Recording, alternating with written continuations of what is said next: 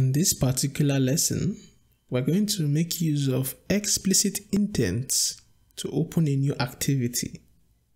So currently we have main activity and we have the layout.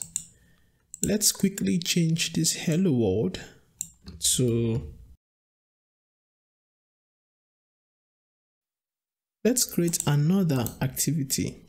To create another activity in Android Studio, you click here, right click, go to new, come down to activity. Now, there are different types of activities. For now, we just want an empty activity. All those other options are special activities where Android Studio helps you generate the code. For example, a login activity would help you generate the code or structure to help you quickly create a login activity. So what we are creating now is empty activity and I can call it second activity. This would be the name of the Java file.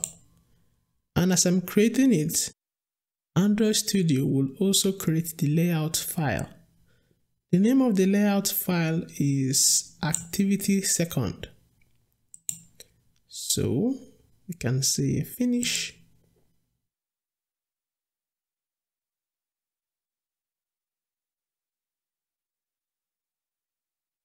So we have second activity and then the layout. Let's just drag and drop a text view here. Just put it in the center. Come over, change it to second activity. The reason I'm putting a text here is so that once we go to the activity and we see this text, then we know that the activity was actually changed because this layout is for second activity. As you can see, second activity sets activity second as its content view. For main activity, it sets activity main. So because we are going from main activity to second activity, the intent to change the activity would be in main activity. We can have a button here such that once it is clicked, it should change the activity.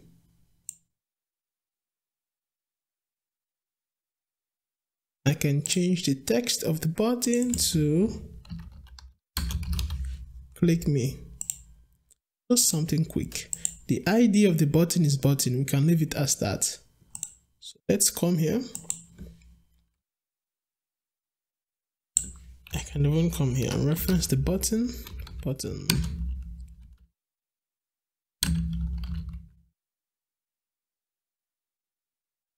so here is the click list now what should I do once this button is clicked so the first thing I need to create is an intent.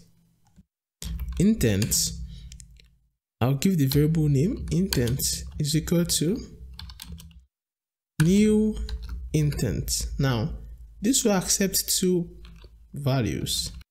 The first is the context. So I'll say main activity dot this. The second is the activity we want to open. So we will specify the Java class that handles the activity. The name of the Java class is second activity dot class.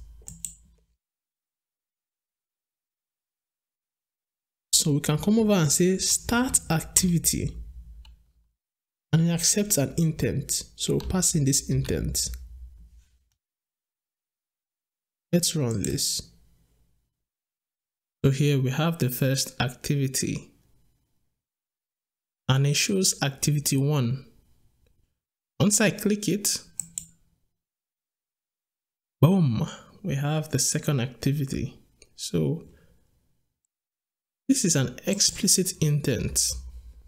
Says explicitly the component that should handle this intent, the component that should be started. In the next lesson, we will make use of implicit intent, which states something that you want to do, and then apps that can handle it will pop up.